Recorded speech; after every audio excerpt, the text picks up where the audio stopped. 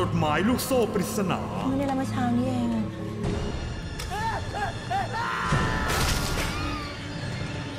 ทั้งหมดนี้มันเพื่อนห้องเราตอนป .6 ทั้งนั้นเลย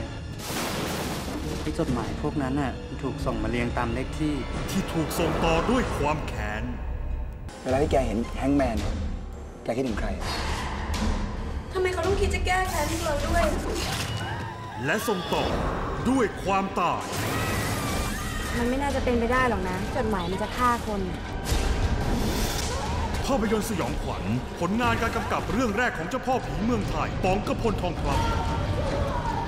ทำไมไม่เขียนล่ะ เขียนซิ The Letter เขียนเป็นส่งตาย 29 ตุลาคม 3 ทุ่มที่ทรูไทยฟี